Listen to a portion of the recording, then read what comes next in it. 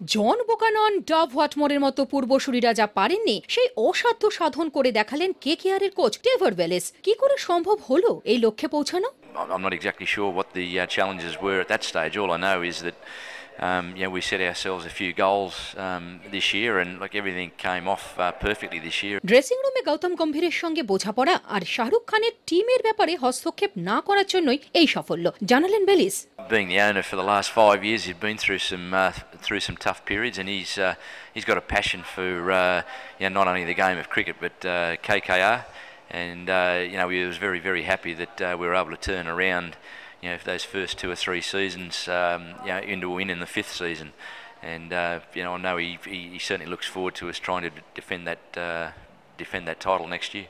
তবে মনোজ তেওয়ারি বা লক্ষ্মীরতন শুক্লা নয় বাংলার ক্রিকেটারদের মধ্যে বেলিসের খাতায় সবচেয়ে বেশি নম্বর পেয়েছেন দেবব্রত দাস অকপট স্বীকারোক্তি কে কোচের I was most impressed with uh, young Das, um, who unfortunately, uh, with circumstances, missed out on a place in the final. But um, you know, I think he, uh, I, I- think he averaged 40 for us, and uh, with a strike rate in the 130. So, um, by any account, that's that's a good season. Um, and a lot of the time he batted it was at the end of an innings with not a long time to bat.